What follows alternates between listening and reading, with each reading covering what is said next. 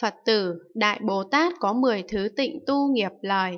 Những gì là 10? Đó là tịnh tu nghiệp lời thích lắng nghe âm thanh của Như Lai, tịnh tu nghiệp lời thích nghe nói công đức của Bồ Tát, tịnh tu nghiệp lời chẳng nói những lời mà chúng sinh chẳng thích nghe, tịnh tu nghiệp lời chân thật xa lìa bốn lỗi lầm của lời nói, tịnh tu nghiệp lời hoan hỉ vui mừng khen ngợi Như Lai, tịnh tu nghiệp lời chỗ tháp của Như Lai lớn tiếng khen công đức như thật của Phật, tịnh tu nghiệp lời dùng tâm tịnh thâm sâu bố thí pháp cho chúng sinh, tịnh tu nghiệp lời dùng âm nhạc ca tụng khen ngợi như lai, tịnh tu nghiệp lời ở chỗ chư Phật lắng nghe chánh pháp chẳng tiếc thân mạng, tịnh tu nghiệp lời xả thân hầu hạ tất cả Bồ Tát và các Pháp Sư để thọ diệu Pháp, đó là 10.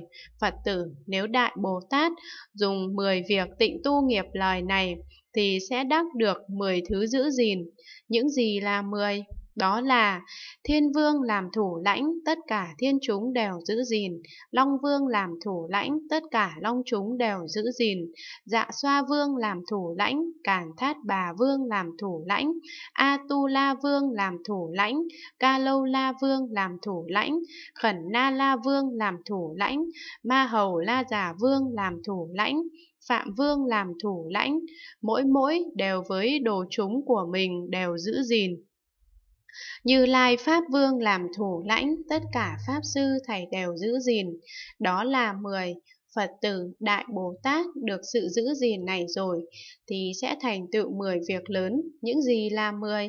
Đó là tất cả chúng sinh đều khiến cho hoan hỷ, tất cả thế giới đều có thể qua đến, tất cả các căn đều biết rõ, tất cả thắng giải đều khiến thanh tịnh, tất cả phiền não đều khiến dứt trừ, tất cả tập khí đều khiến lìa bỏ, tất cả dục lạc đều khiến sáng sạch, tất cả thâm tâm đều khiến tăng trưởng, tất cả pháp giới đều khiến khắp cùng, tất cả niết bàn đều khiến thấy rõ khắp, đó là 10.